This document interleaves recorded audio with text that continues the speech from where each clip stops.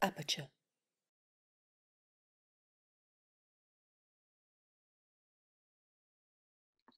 Hello. Uh, good evening. Thank you all for joining us. My name is Michael Famighetti. I'm the editor of Aperture Magazine. For those of you who are not familiar with Aperture, the magazine was founded in 1952 by a group of photographers, artists, writers, and curators to serve as common ground for photography. Aperture today is a multi platform publisher that unites the photography community in print, in person, and, and online. Uh, tonight, we're very excited to have a conversation about our new issue of the magazine titled Native America, which is guest edited by the, Red Star. Red Star is a Portland, Oregon based artist raised on the Crow Reservation in Montana. Her work is informed by both her cultural heritage and her engagement with many forms of creative expression, including photography, sculpture, video, and performance. An avid researcher of archives and historical narratives, Red Star seeks to recast her research, offering new and unexpected perspectives in work that is at once inquisitive, witty, and unsettling. As guest editor, Red Star aimed to create the publication she wished she'd had to read when setting out to become an artist. I was thinking about young Native artists and what would be inspirational and important for them as a roadmap, she notes in the editorial that opens the issue. She continues The people included here have all played important, an important part in forging pathways, in opening up space in the art world for new ways of seeing and thinking. The roadmap that Red Star created spans a diverse array of intergenerational image making. These include lodestars such as the meditative assemblages of Kimowan Metchewais, the dynamic site specific installations of Alan Michelson, and the performance based works of Rebecca Belmore. The issue also includes the stylish self portraits of Martine Gutierrez, which appear on our cover, an intervention in a 1995 edition of Aperture Magazine by Duane Linklater, and the speculative mythologies of Karen, Miranda, Rivadeneira, and Guadalupe Maravilla. Rounding out context throughout the issue are the contributions by distinguished writers including strikingly personal reflections from acclaimed poets, including Natalie Diaz who we will who will be in conversation with Red Star this evening. Uh, Natalie Diaz is a Mojave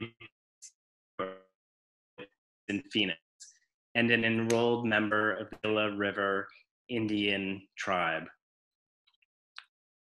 Just making sure my connection is okay. Um, her books include When My Brother Was an Aztec and Post Colonial Love Poem. She has received fellowships from the MacArthur Foundation, Lannan Foundation, United States Artists and Native Arts and Cultures Foundation. Diaz is director of the Center for Imagination in the Borderland and the Maxine Marshall and Contemporary Poetry at University Tempe. Very privileged to have Diaz here with us tonight. Uh, it has been a real honor to work with Wendy Red Star on this issue of the magazine. Um, at Aperture, we are deeply appreciative of this collaboration. This is no doubt an edition of the magazine that will inform and shape our work to come.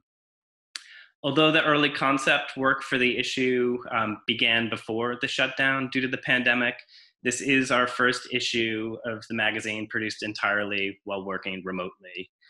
Um, and I want to thank my colleagues, Brendan Embser, Nicole Acheampong, um, who introduced us to the brilliant work of Natalie Diaz, uh, Eli Cohen, and Andrea Schlad, um, who did such an amazing work on the production of the issue while working remotely. We can do many things remotely with relative ease, but we are still making a physical object. So thank you, Andrea, for your hard work on the production.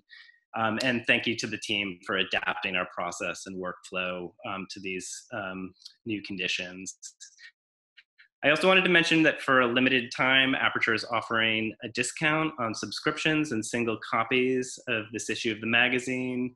You can use the discount code in the chat to receive 30% off this issue and follow the link to become a subscriber at a discounted rate. Um, Aperture is a not-for-profit publication, and so I just wanted to note um, the uh, in, the individuals that support our uh, issue of the magazine is supported in part by the National Endowment for the Arts, the Henry Luce Foundation, and further generous support is provided by the Philip and Edith Leonian Foundation and the New York City Department of Cultural Affairs with the City Council. And significant support for the magazine is provided by the Kanakia Foundation. Thank you to our funders. Um, and just another note that we will be answering questions or taking questions from the audience um, toward the end of the evening. So please feel free to submit your questions in the Q&A box at the bottom of your screen.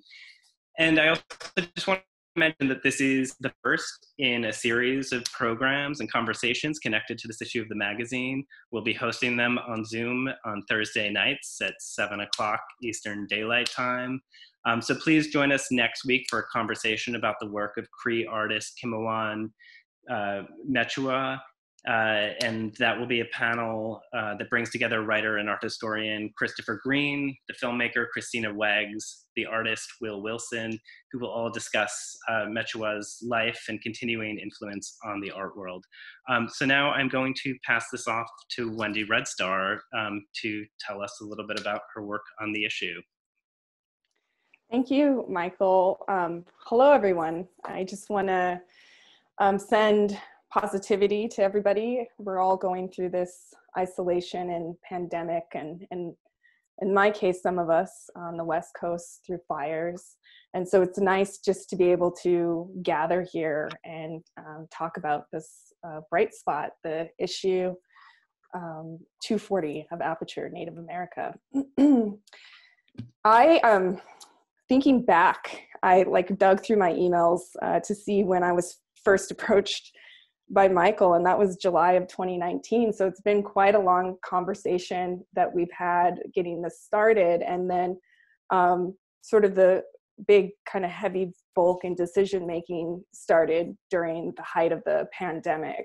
So I am very happy that we were able to produce this uh, beautiful magazine and that everyone who contributed to it, all the artists, the writers, um, everyone who went into um, formatting and creating this issue. Um, it's just uh, really amazing that we were able to all come together and to produce this.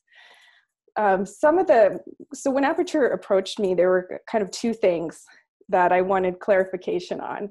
One being um, that I don't have a background in photography. And so I wanted to make sure um, or just let them know you know that um, that i'm sort of coming through photography at a different angle and that uh, that i would be interested also in selecting artists that are also coming to photography in different ways than just uh, classical training in photography. And um, they were totally on board with that. Um, and then uh, the other thing i was really interested in was um, kind of um, thinking about different themes like legacy, language, memory, and land, and uh, selecting artists that were sort of working within those different um, themes and pulling from that direction. So one of the, um, actually one of the very first artists that came to mind was uh, Kimowan. And I had a recently, well, actually, the first time I was introduced to Kim Kimowan's work uh, was through social media, through Facebook. Uh, when I saw, um, when I was introduced to his uh, Facebook page, um, another photographer, Larry McNeil, who was a friend of Kim Kimowan, had mentioned something about him. And at that time, Kim Kimowan had already passed. And so I um, had the opportunity. His uh, I don't believe his Facebook page is still live, um, but I had an opportunity to look through his work, and then it just really stuck with me. So I'm excited um, for Natalie to speak a little bit further. And before before we get into Kimowan, I also want to say that Natalie produced a beautiful um, piece of writing called The Picture that was really touching and moving for me to read during the pandemic. Um, and it's just a really beautiful contribution. So Natalie, I'll go ahead and like pass it on to you to talk about Kimowan.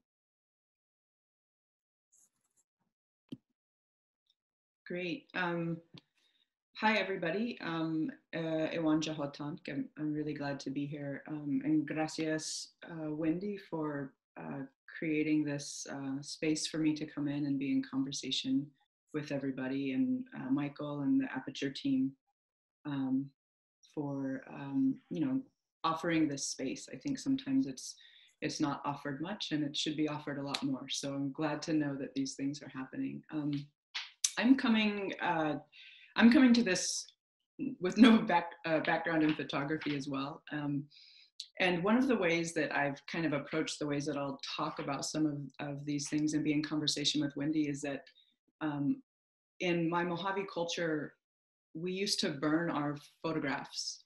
Um, and when someone passed, those would go on the funeral pyre. Um, and so I've always had this recognition of, of the power of a photograph and that uh, the peoples and lands, those bodies who are in those photographs, um, were not inanimate. They were they were living. They were a kind of energy.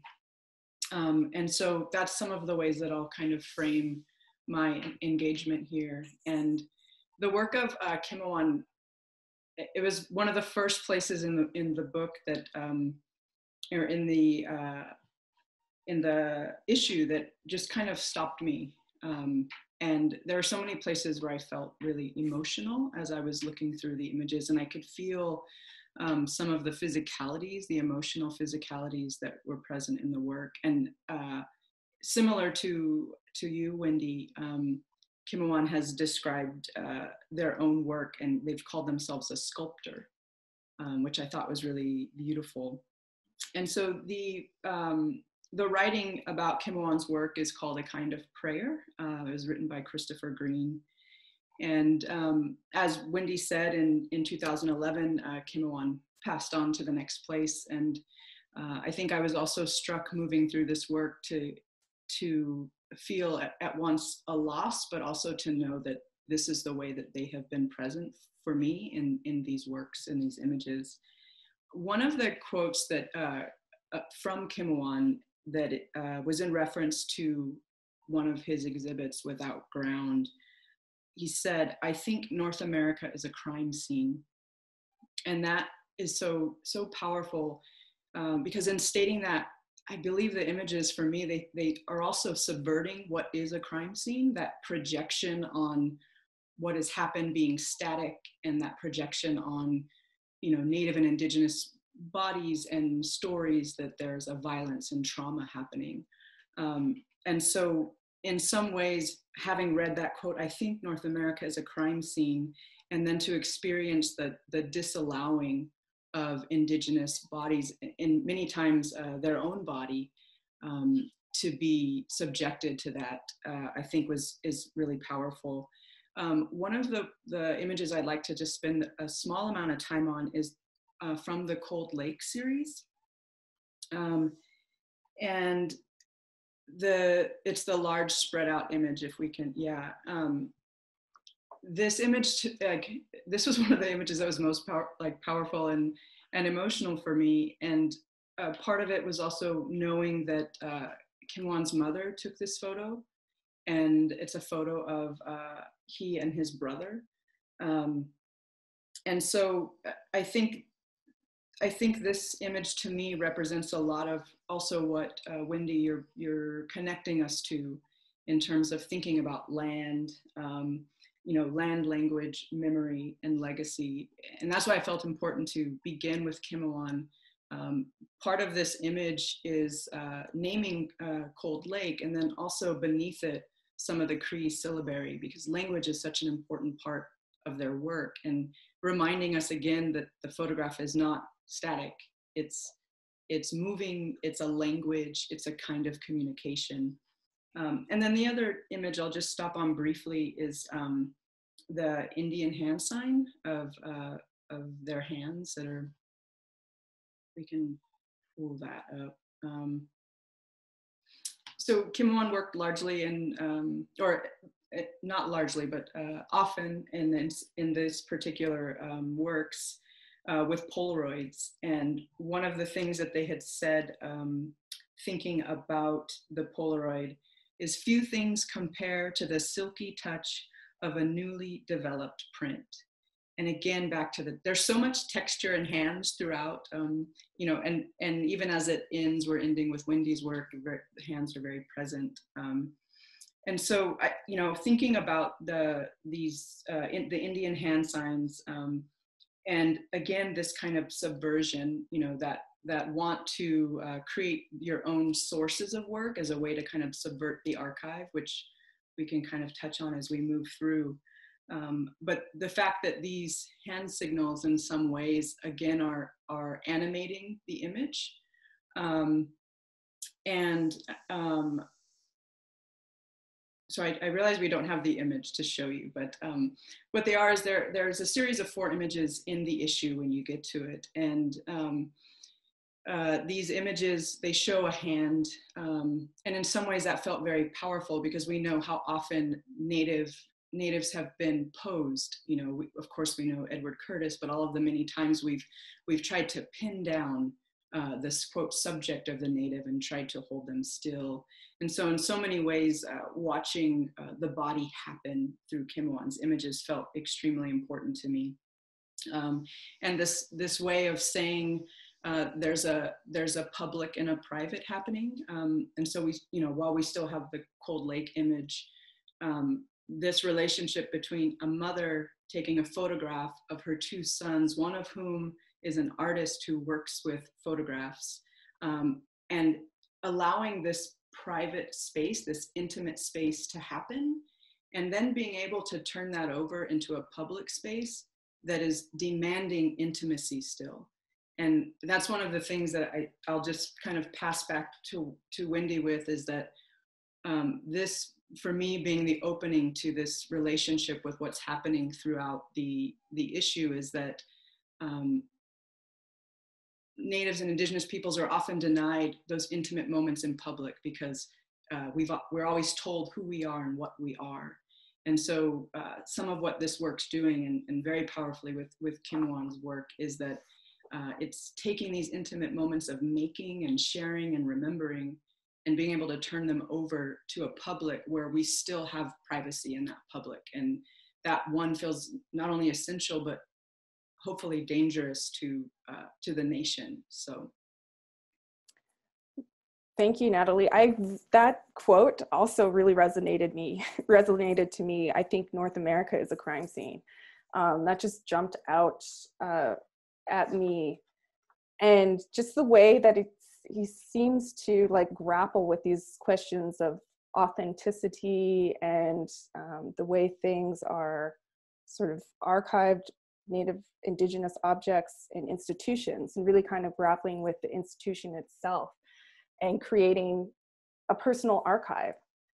And i really became interested in that archive he was creating and sort of the things that he was pointing us towards um, to be really profound. And so that's why it was uncanny then for me to do uh, a research, a Smithsonian Artist Research Fellowship and find that Kimowan had gifted his artwork to the National Museum of the American Indian. Um, and I had the opportunity to actually see his work in person and to see those uh, Polaroids and mm-hmm. also to see like uh, the boxes in which uh, he would categorize different things. Um, so that was um, really amazing experience to to have his work there, and then also for me to do um, research on my own community's objects within the National Museum of American Indian. Um, I originally went there in 2018 to work with Emily Moazami, who is uh, the head archivist at the National Museum of the American Indian. And I originally went there to research Apsaalooke delegations that had traveled there um, to Washington, D.C. during the turn of the century. And so here's an image of uh, Medicine Crow, who was in a delegation in 1880 that traveled there. And what I wanted to do was like find more images of delegations, but also look at uh, objects because NMAI, um, also the Nat uh, Natural History Museum there, has um, a pretty good collection of uh, Apsaalooke material. Um, but what soon happened is I became overwhelmed because they had so much within their holdings of Apsaalooke photographs and documents and material. And um, I just wanted to talk a little bit about this interview. We could go to the next image here and just really actually focus on this image here at the bottom. Um, so my first day that I did the uh, residency with Emily, she sat me down in this room and they had these binders, like three binders just of, of Apsaalooke images from different photographers. And I was like a kid in a candy store flipping through and I fell, I found this image and I read the caption and the caption said Fred Miller, red star, black hair, and small medicine tobacco on horseback in front of a teepee, Apsaalooke Reservation, circa 1898 to 1910. And Red Star is my last name, and Red Star is also my great grandfather. And Red Star also to me sort of means allotments because it was his generation where our reservation, which used to be uh, owned and held by everybody, was allotted into different parcels. And so Red Star at that time of allotment was the head of household. So they gave each head of household a certain amount of land. And then his wife and children, they used his name, which all Apsaalooke just had a name. And his name was Red Star, as a last name for his wife and his children. And hence, that's how I get Red Star. And I've never seen a picture of Red Star. So I was very excited to see this. Um, and then I started to look into the census records, the date, um, looking at how old Red Star was.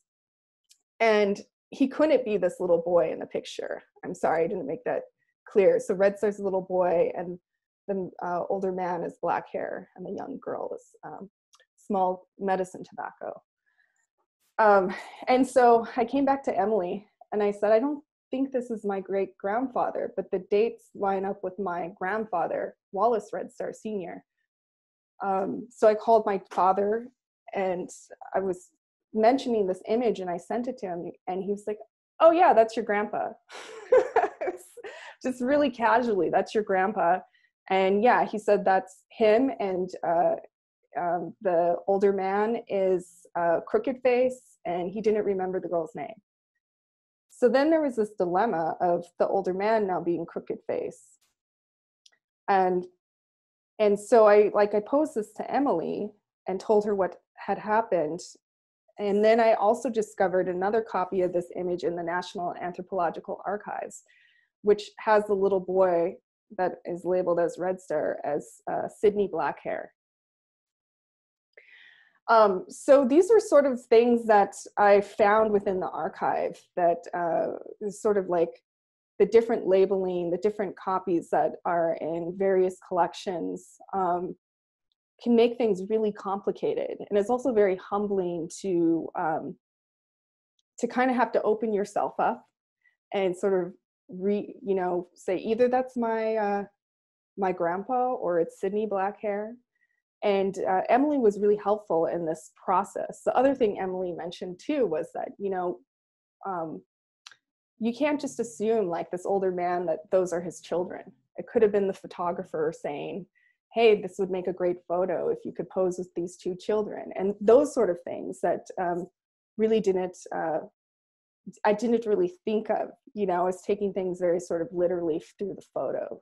So emily was very helpful in this investigation and another thing that kept coming up um, through this investigation of these photos is um, linking objects um, to the, the individuals in the photos. Um, so for instance, this image of this older man here named Beartail, he is my uh, great-great-grandfather. And there is a, uh, the Smithsonian hired a guy named Will, William Wildschut, um, who lived um, in Billings, very close to our reservation, to do research and acquire objects, and he acquired a lot of medicine bundles. And in the notes, uh, med- uh, Beartail actually sold several of uh, his grandfather's bundles to the museum and i had the opportunity to see that. So that was really profound and powerful experience um, to work. We can go to the next images here um, to see the objects and link them and bring them together um, this is the 1880 Crow Peace delegation uh, we can go to the next work here another thing that came up was um, i found my uh, great great grandma her name is dreams the truth and uh, this image that you see on the uh, left here is by Fred Miller. And uh, I knew there was another photographer named Richard Throssel, who image is on the right side of my great great grandmother. Um, and so after doing this research, I came home and I had this picture of Dreams the Truth. Um, and I decided to look through Richard Throssel's book, um, photos actually, his collection, his online collection. And I was able to find my grandma again through his through his image. So it's been a great resource. Um, another profound thing before I move on to the next our next uh, topic is that um, the experience that I had there at the National Museum of the American Indian was so different from any other institution that I've been to that has crow collections. And that when I was looking at the objects, they allowed me to physically touch them and move them and just be with them where i've worked with other institutions where sometimes I, I do get to touch them but with gloves or sometimes i don't get to touch them at all and uh, the collections manager will move them around for me and the profound thing that uh, they would say to me was like these are your objects and um, yeah, that really kind of struck me because I've never had that experience. And they talked about being stewards, stewards of the collection, and that the importance of bringing in tribal community members um, to connect with those objects was very important. Um, and so the next person we're going to talk about, this is my daughter and my dad, um, is Marianne Nicolson. Um, we can move to her, and she is um, she's such an important person, important artist, and um, she's a steward. She's a steward for her community and for her community's history. And I'll um, I'll go ahead and pass this on to Natalie to talk about that. Yeah, I mean, this has been such a generous gift to interact with this work um, and the work as like a comprehensive uh, kind of movement in space. Um, I mean, it was remarkable, Wendy, to it's almost as if you had us in your living room.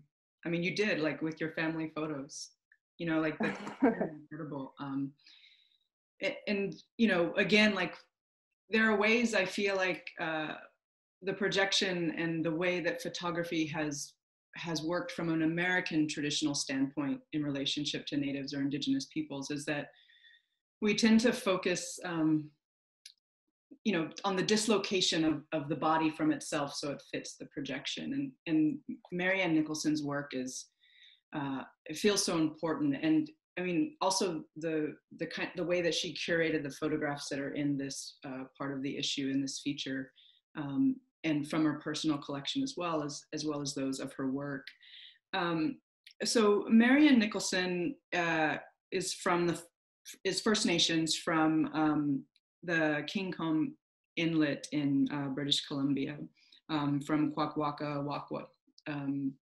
peoples. And uh, I'm, I'm, beginning, of course, because I'm a poet with a lot of quotes, but uh, there's something that she has said, and you'll find this also in, in the feature um, that Miranda wrote. There has been a gap in our transmission of our knowledge, and we used photography as a memory device. And that strikes me because, you know, the American memory is so so vastly different and so much more narrow than than the native and indigenous memory uh, because it's still happening. It's not something that can be set uh, further back. And just in relationship to these couple images that are here now, I mean, something that that feels so compelling um, is is yes, there's a focus on uh, the quote, the human, um, and that, but even saying human, I think is, is a very American uh, kind of way of, of thinking about it, um, which is, you know, you can always kind of tell in the way they centered centered us, and especially because you know they've American has never really believed us or treated us as being fully human. And something about these images for me is the power of the land behind the peoples so that you can't uh, extract one from the other so that they are connected. Um, and if we can kind of turn to the next set of images. And so uh, this is a, a really beautiful uh, disruption, it feels like to me, is um, on the left of your screen, and these are from uh, Marianne's personal uh, collections, um, is this image here of, of the couple in what is more of a town or city uh, atmosphere, a, a, place where, again, uh, we never want to situate the native in those spaces. And, and to me, this just shows, um, you know, this is, is a very true representation of the ways we inhabit uh, you know not just this country but our lands and and the places. Um, and something i feel like that uh, marianne has offered to me in her work is uh, a return to a return to so many things but a return to the ideas of abundance. And uh, on the right of the screen uh, we have some of the reel there and um, of uh, the ooligan fish there. And we have also some uh, some empty shells that are are present there.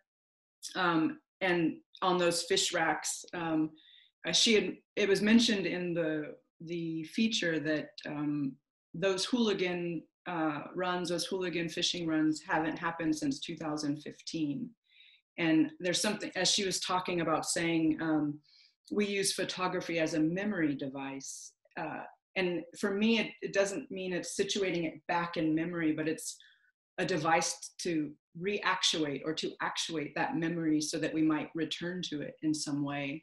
Um, and that felt really powerful with her work. Um, and I don't know if we have an image of, of uh, the, the lighthouse, um, the, the kind of glass house.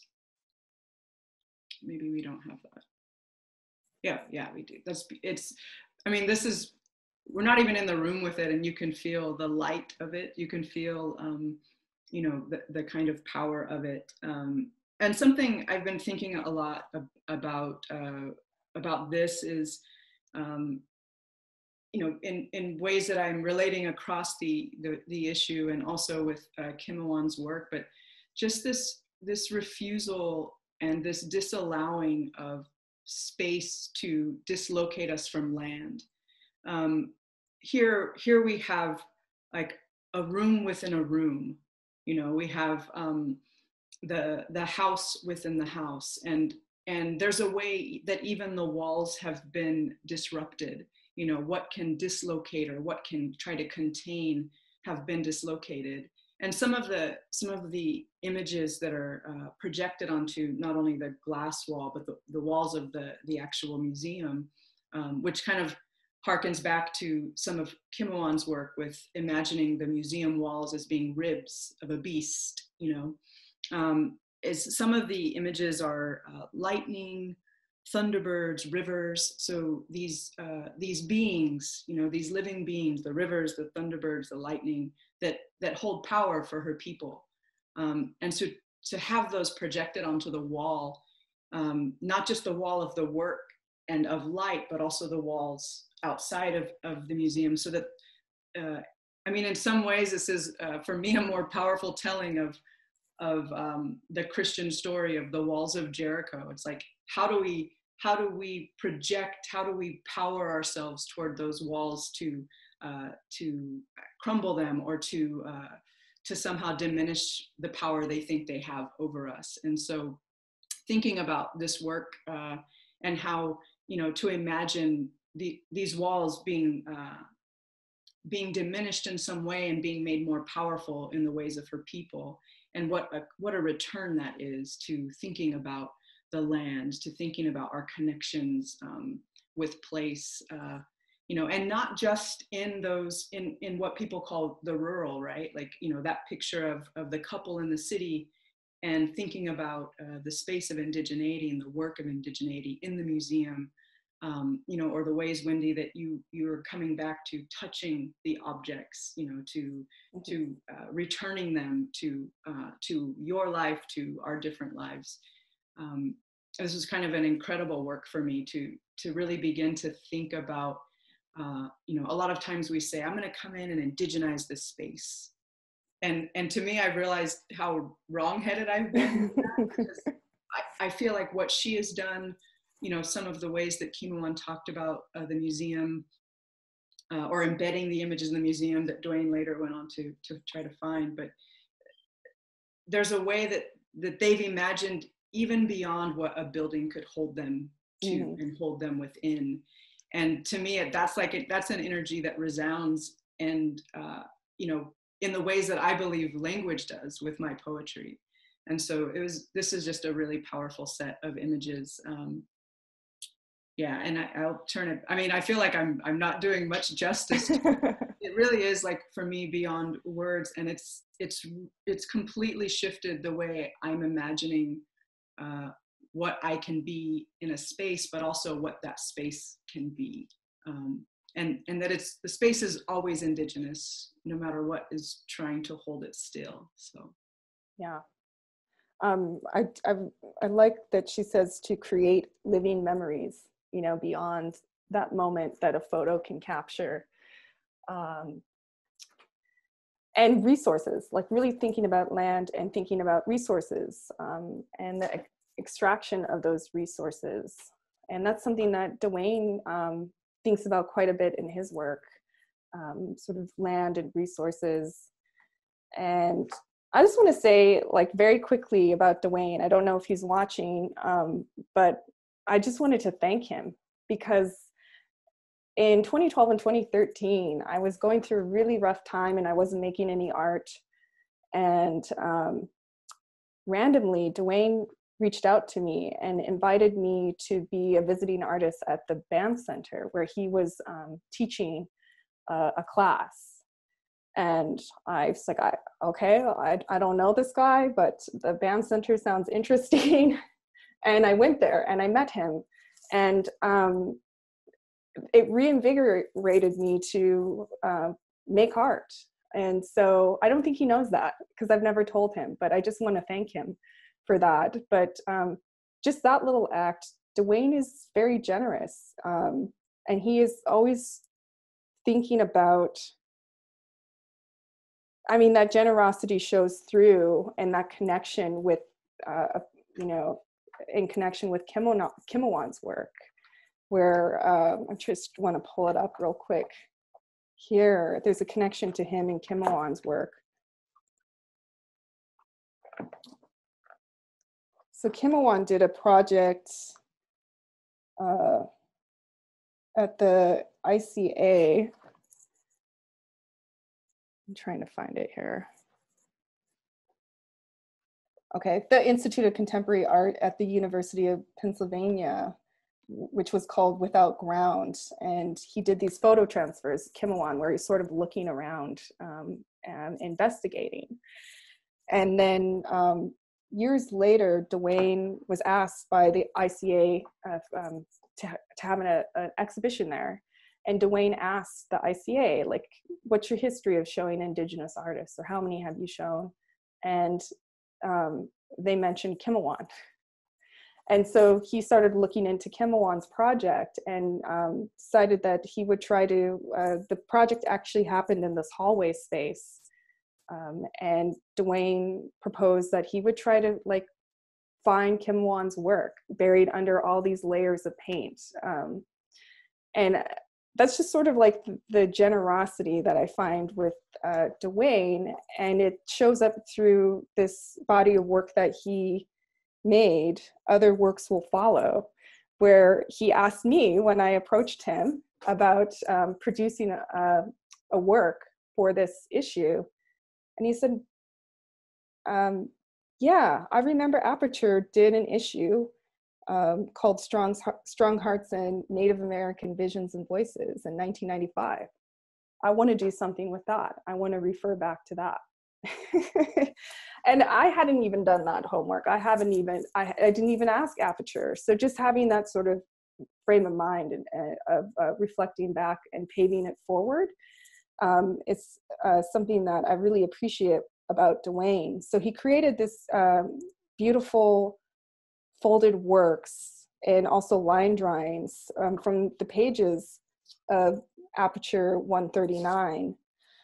And the other thing that I I learned from Duane's work is that he does this thing where he um, he he creates this intimacy with his work, and that um, you'll you'll notice when you look when we're looking at some of the pictures are covered, some of his line drawings are covered, and some are revealed. And so he does this sort of nice thing where you can't see the full image or you can't see the full drawing and so you're left sort of kind of to wonder um, or just sort of appreciate uh, that you're not going to see the whole image or the whole drawing and, and so that's a lesson that i feel has been really powerful for me as as a viewer and also as an artist that you don't have to reveal or show everything and sometimes that's not necessary so I just wanted to say that about Duane and also like sort of like kind of pulling the original origin story of the native issue out for us to see. And I think that really links to the next artist we're going to talk about working with like origins of stories yeah i'm i'm i know when we when we talked before uh, wendy you were you were telling me a little bit about uh, some of the, the ways Duane has talked about knowledge and the idea that, you know, like some knowledges are not for you. you yes. Know, or some knowledges are just for me or for us. And and that feels so important because in some ways that is a that is a decentering of the idea of knowledge. You know, the fact that there are myriad pathways to uh, to relating, not necessarily knowing or even understanding, but to relating, um, and that those can shift or return to themselves in so many different ways.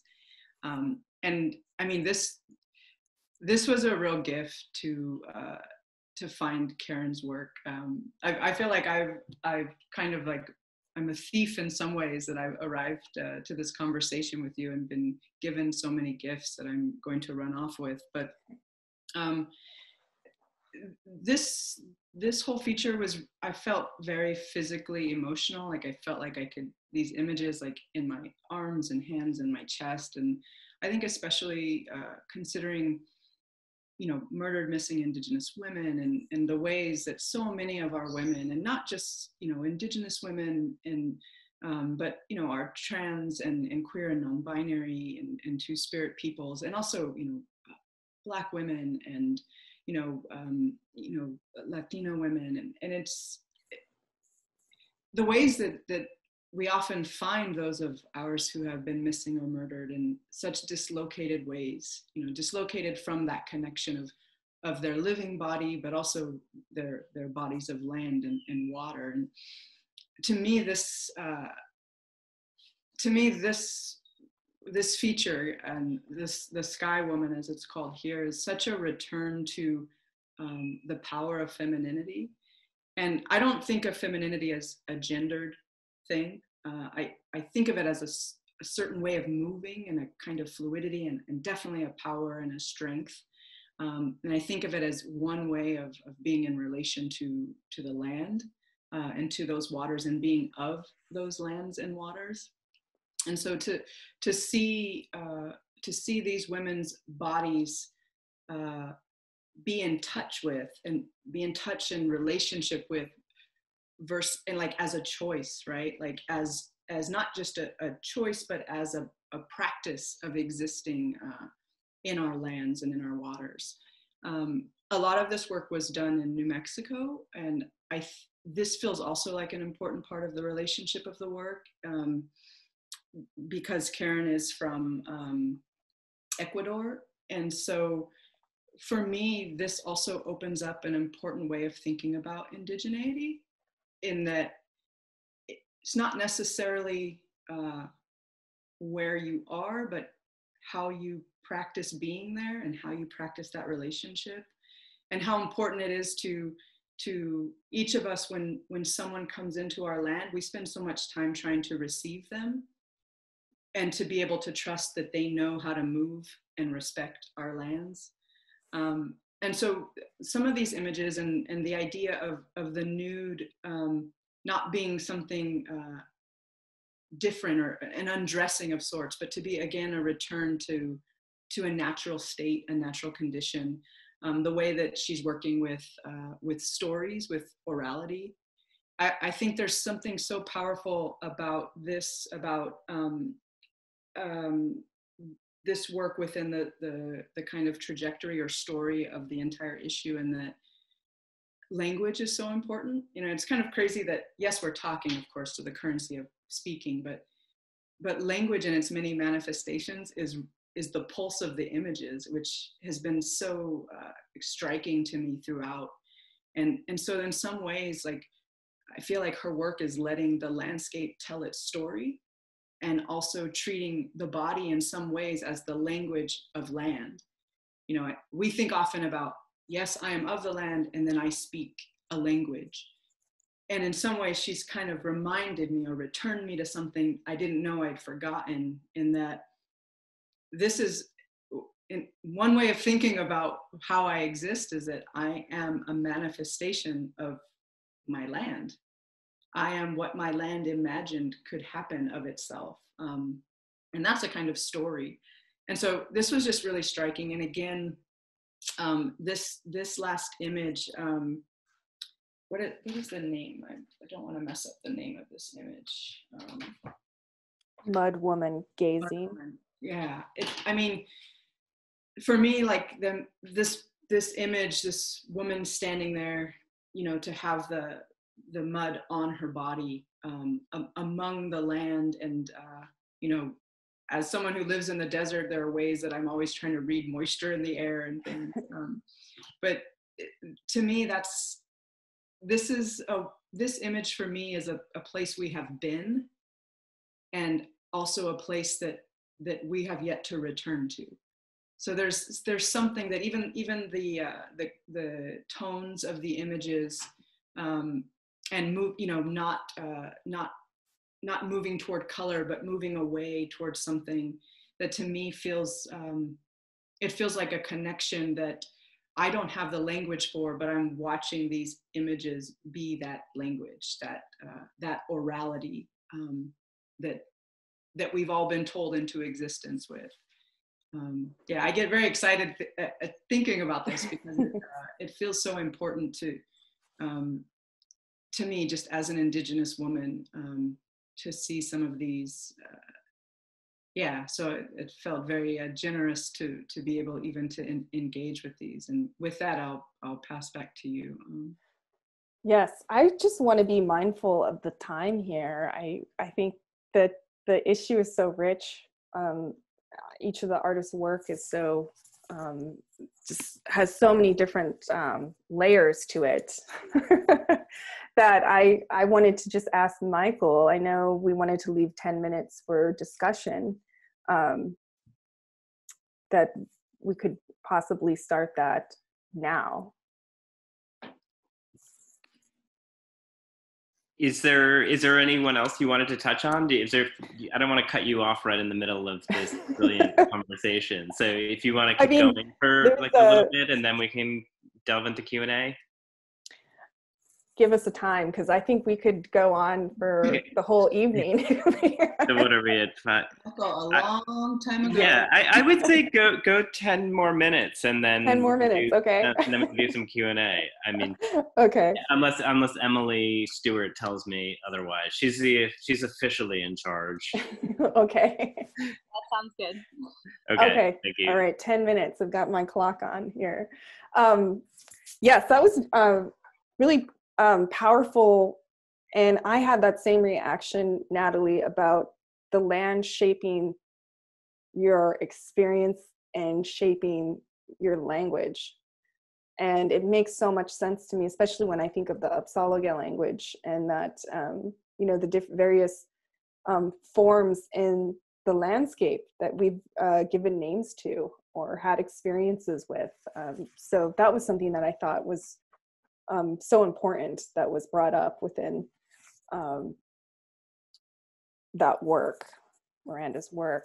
So this is Martine uh, Gutierrez, um, and again, when I was putting out the sort of um, the list of artists like uh, that I wanted to include, immediately Martine Martine's work popped in my mind, and particularly this project called Indigenous Woman.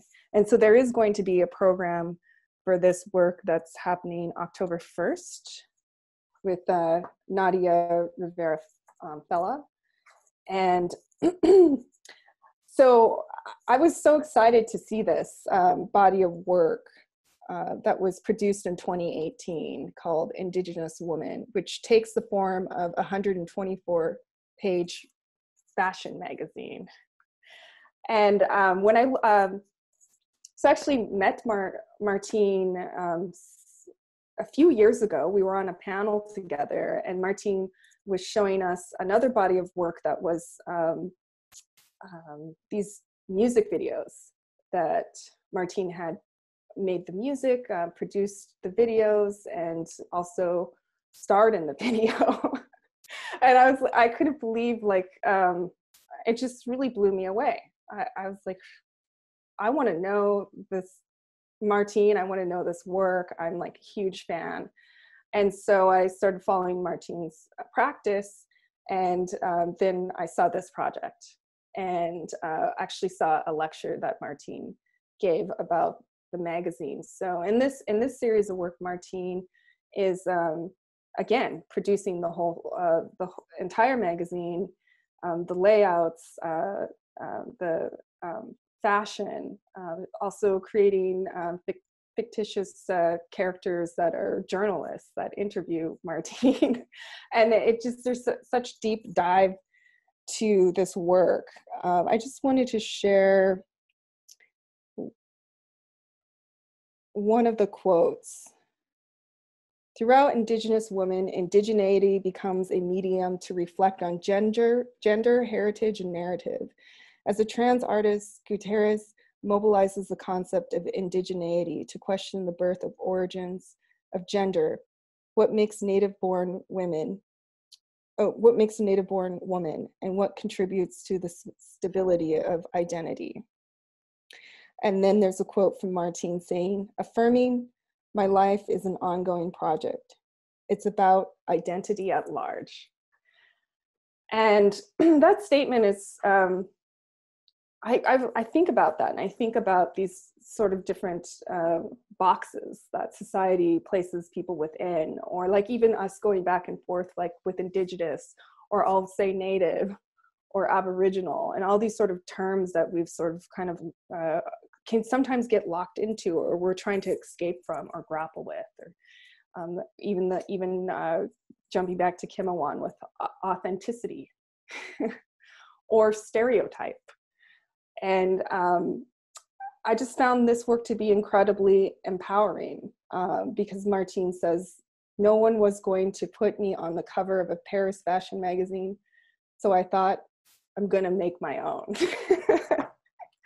and um, yeah, so Mar- Martine, um, I I just found uh, the work to be powerful, and then the cover, the cover for this issue to introduce this issue was um, how could you not pick up this magazine and want to look and investigate it more? Um, so yeah, just really powerful work, and I'll I'll um I'll go ahead and pass it over to you, Natalie. Yeah, I mean, even I've I've been staring at the issue for so long, and I'm even like seeing it again for here is almost like seeing it the first time again. images. Um, so this was one of the images I I just want to make sure we touch on before we shift over. Um, okay. And uh, here titled as "Crow Hands, Crow Objects," and uh, you know this being your work, of course, uh, Wendy and I feel like we've touched we've touched on so many of these relationships that are um, that are right now kind of moving through and around the image that's on the screen um, with with your hands and these um, um you know I, I even hesitate to think of them as objects. Like i feel like in some way they're they're extensions. And of course when they're in your hands they are extensions of your hands and they were made by someone so they mm-hmm. are like extensions of other other peoples that that are there. And and just the image itself to me is it's almost like it's completely shattered time and stepped out of it. It's again it's that relationship and that return and it's it's memory it's memory actuated is a way I, I feel like. It, it doesn't mean that we we actually have to know that it was forgotten but we can enter into it. Um, and and I, am thinking back to Marianne's work. I'm thinking, you know, to to Duane, to uh, you know, Kimowan, like the the way the way that the museum doesn't have the ultimate power in this moment, you know. And and you had said that they're like, well, you know, what was it you said? These are yours. Did they tell you? Yeah. Well, these are yours. Yeah, and and even and that is even an interesting phrase, right? Like for them to say like uh, these are yours like again an iteration or reiteration of a kind of like property but yes as soon yes. as you touch them like like sometimes the thing about saying like you know this is mine is is really the connection of saying i am of you mm-hmm. and i am yours and i think that's something that is hard for american minds to understand about uh, some of the ways indigenous uh, peoples think about family and relationship um, and so this image for me is very much tied to uh, the images of of um, you and your daughter at you mm-hmm. know taken at, at, across time.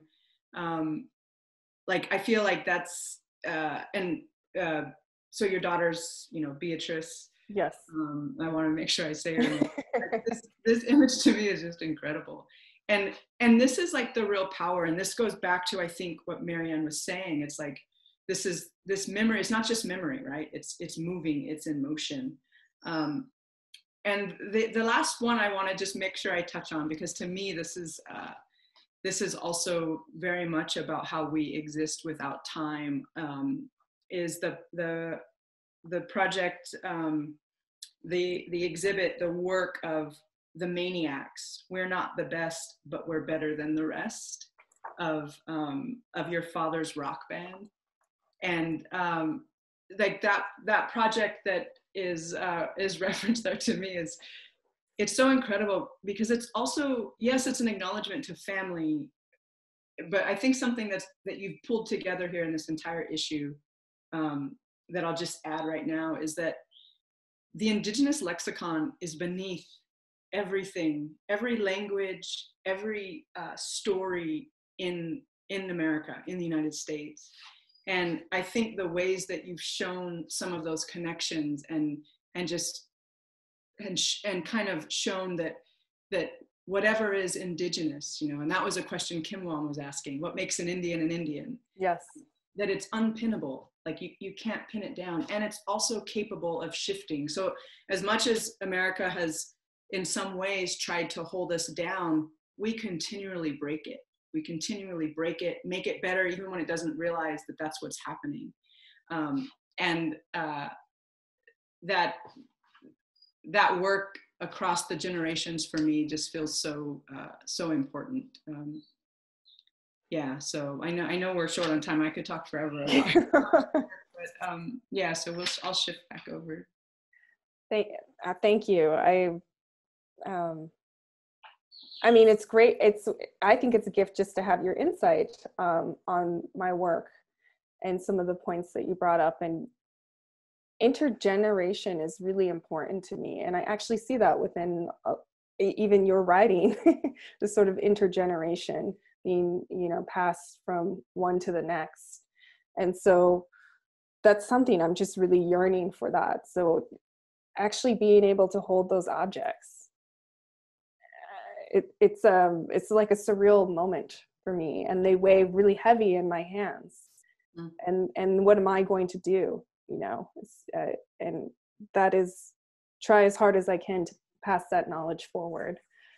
And so that's why i also feel like i'll say just briefly about rebecca belmore and her work and how pivotal it is. And aperture asked me like who who is sort of like the, the uh, sort of sort of pillar, a pillar that you would talk about in contemporary Native art. And it, for me, it's always been Rebecca Belmore. And um, one of her works that's not included in here, but an early memory of her work is speaking to their mothers. It was this giant megaphone that she um, made, and then um, she set it out in the landscape around Banff, the Banff Center. And she and uh, other Native artists and activists um, talked to the land. And that was so powerful. And I saw her work when I was in graduate school, and that's one of the first contemporary Native artists that I actually saw out there um, that I could really connect to um, as a as a Native artist and as a woman. Um, and then another really important work that is brought up in in the issue um, are these sort of um, well i'll just state this real quick because i want to get to the questions but um, after reading this article i was really amazed in her her collaboration. So with th- these particular works that are on the screen right now um, she's reflecting back onto her uh, performances that she made and picking out moments in that performance and then collaborating with her sister to uh, sort of redo those photos and then also working with a photographer and sort of staging this whole thing. And to me that really is um, sort of a dimensional way of like re-encountering your work and rethinking about your work. And so that really stuck out to me in in this work. But i just want to say that she's a very important artist and i was thrilled to have her included um, in in this issue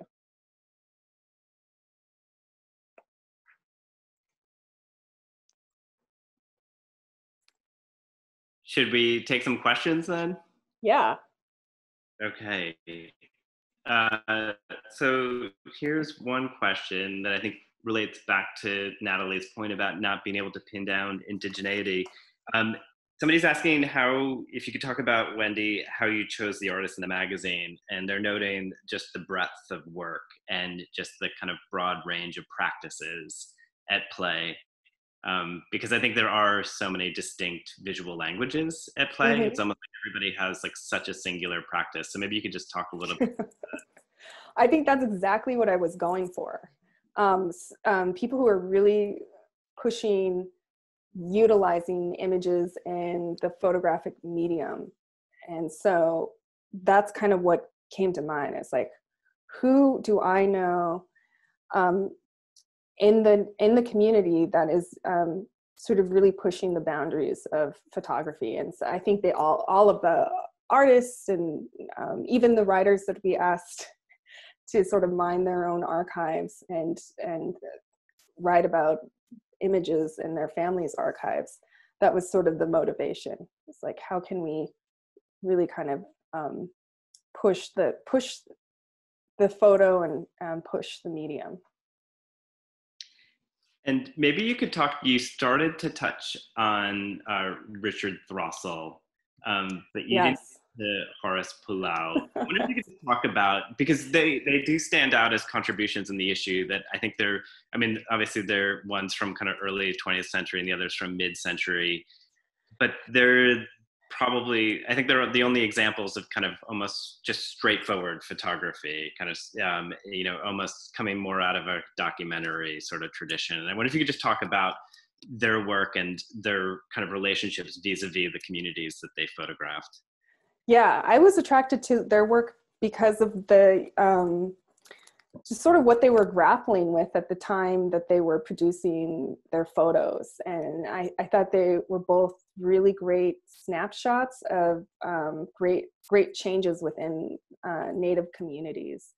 And Richard Throssel, I have a very soft spot because he photographed my community and he was Cree and half Scottish and uh, worked for the um, government and um, photographed with that kind of um, behind him and then switched over to his own like photo studio and eventually was adopted by my tribe um, and i've always loved his images because he photographed so many crow women and a lot of the other photographers that photographed the crow it really didn't uh, photograph women quite like he did and horace i just think his images it's that gray area that i love so much you know where it's uh where um, you're seeing uh, his community um, participating in their culture but also grappling with like uh, dominant culture and that's both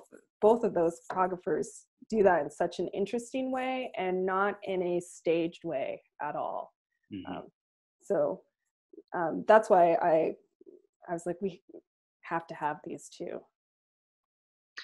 Uh, here's another question. Um, wendy why was it important to include not only artists but also poets and writers such as natalie david um, david treuer tommy pico in the issue? Because we're you know talking we're, photos are about stories and telling stories. And so i really love this idea and i can't write to save my life. You know it's like torture. And so to, even to like sit here with natalie and hear her speak about these images that's so important and these different artists and their work. Um, and her just talking about my work i feel like i've learned so much. So just um, to crossing those conversations across mediums um, is very is really valuable. So yeah storytelling.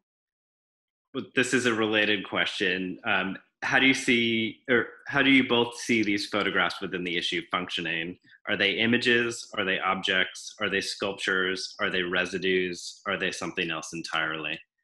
I'm going to punt that over to pass it basketball pass it over to natalie.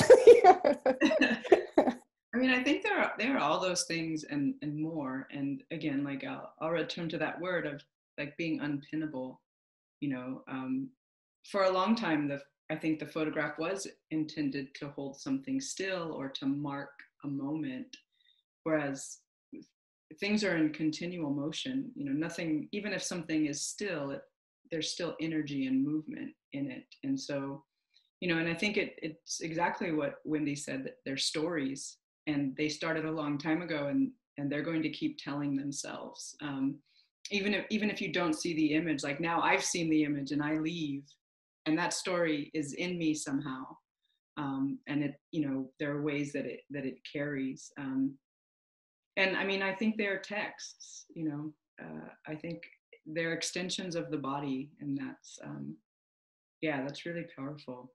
But there's just so much language and like th- this is a poetic issue. It's it's beautiful. Um one other question asks about um, that you both noted not having a background in photography and how um, that might open up a space for subversion or critique um, and that maybe the lack of background creates a kind of collaboration or community. Um, maybe, I mean, Wendy, I always felt like you were a little bit um, maybe modest about how much you act, you know about photography, um, and you know just through your own practice and also through your extensive research um, and you know the way you navigate through archives. Um, but um, but I do think um, I think that was one of the assets. I don't want to answer the question, but just having worked with you on this issue, I felt like your kind of capaciousness in thinking about images is a really an asset. That it wasn't tethered to one kind of tradition, and actually was in fact trying to kind of move away from or disrupt a certain kind of tradition. Um, but I don't know if you wanted to answer that question as well. Um, yeah, I just um, number one i always feel so honored. I i mean i've been invited to be like a keynote speaker at photography conventions. And so i think i'm grappling a little bit with imposter syndrome and and more so about like the technical aspects. Oh, like it's you would be embarrassed if i got my camera out and i i just fiddle with the buttons and then push like hopefully it works out and usually it does. So i guess i when i'm saying that it's more about the technical aspect but i've always been in love with images ever since i was a child um, and i've always had that attraction towards them and uh, from the very start of my art practice it was an image that um, helped me create the first work. Um, so, so I think um, in in that way, Michael, you're correct. Like I, I think I think I've ha- always um, utilized images and photography 100% in my practice. Mm-hmm. Um, but yeah, there's something kind of nice about feeling kind of on the outside. like I can get a, a, little bit away from the criticism if I'm like, but I, I'm not trained in photography. you can cut me a break. But yeah, I I don't know. Yeah, I think it's good to have a little bit of perspective from the outside. How, how about you, Natalie?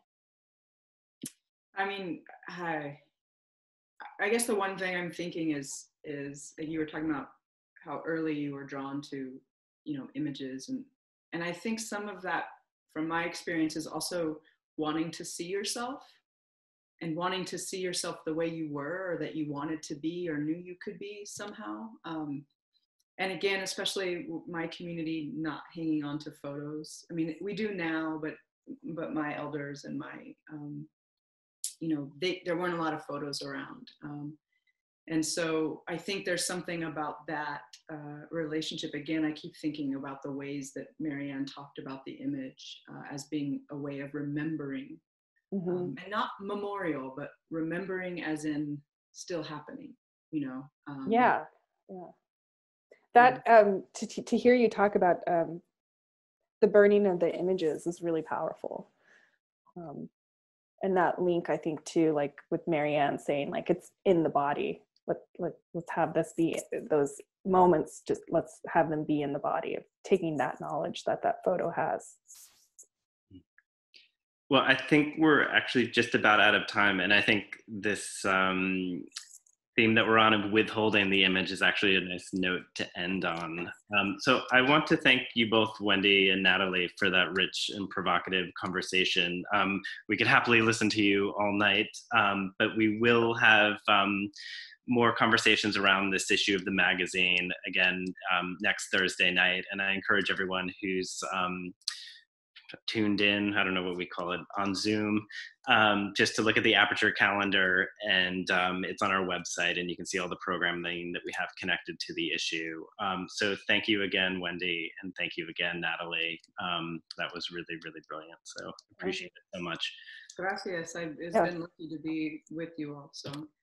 Yeah, thank you. Thank you so much. And um, thank you to you, Michael, and to Brendan. I kind of miss having our phone calls all the time. next project, Wendy. Sounds good. Okay. Take care. Good night, everyone. Thank you again. Bye.